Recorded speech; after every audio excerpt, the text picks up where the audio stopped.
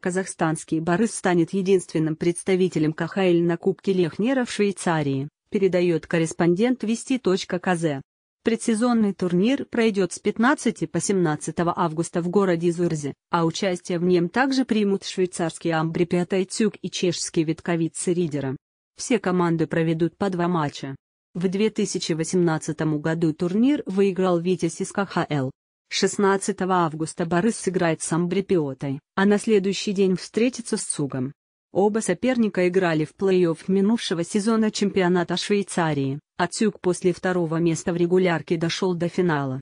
Сам Борис в 11 сезоне КХЛ стал победителем дивизиона Чернышова и вторым в Восточной конференции.